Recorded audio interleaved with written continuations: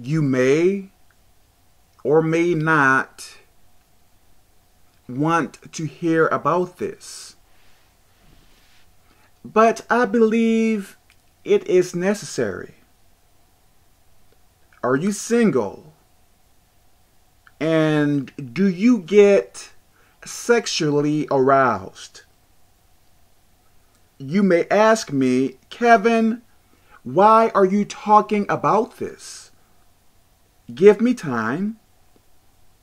I believe masturbation, fornication, and adultery are huge problems.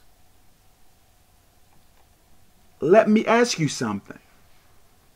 Do you believe God would make you sexually aroused when you are single? Think about it.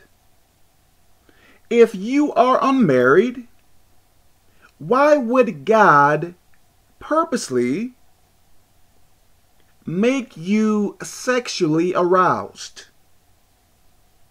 Would God influence you to masturbate, fornicate, or commit adultery? Would he? I don't think so. If God would not make you sexually aroused when you are unmarried, who do you believe is doing so? I believe the answer is demons. I believe the Holy Spirit influences people to do what is right. I believe demons influence some or all people to do what is wrong. As humans, I feel that we have a choice to either be influenced by the Holy Spirit or by demons. Do you agree with that? If demons are influencing you to get sexually aroused, what can you do to combat against them?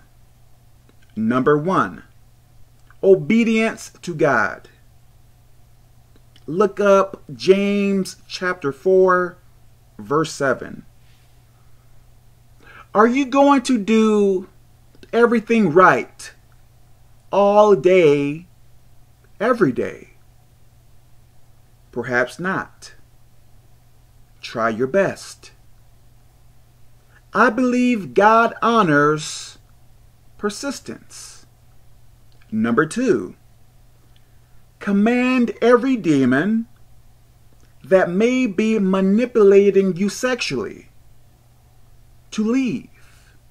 For instance, I bind and cast out every lust demon in or around me to go straight to the pit of hell in the name of Jesus. Look up Matthew chapter 18, verse 18. If you still feel sexually aroused after saying this one time, continue to say it until you stop feeling sexually aroused. Don't become discouraged and give in. Number three, you may want to stay on the defensive. What do I mean by that? Pray against any demon. Hmm. Pray against any demon that may try to influence you sexually. I believe demons can influence us sexually.